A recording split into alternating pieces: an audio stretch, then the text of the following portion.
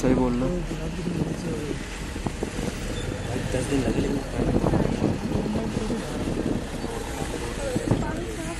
कैसे जाना है हमें कैसे जाना है कैसे रोड कैसे कटना है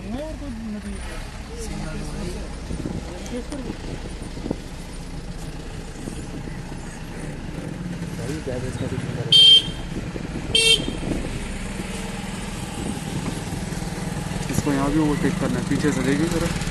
हद हाँ पानी साफ़ हो गया यहाँ तो एकदम क्लीन है ऐसे दिख रहा है। वहीं वहीं से गंदा था वो।